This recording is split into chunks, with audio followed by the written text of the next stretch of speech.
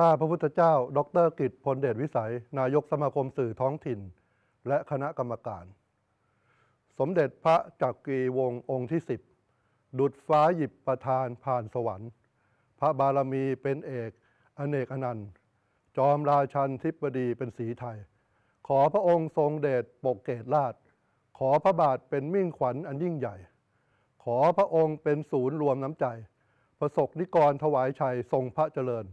ด้วยเกล้าวด้วยกระหม่อม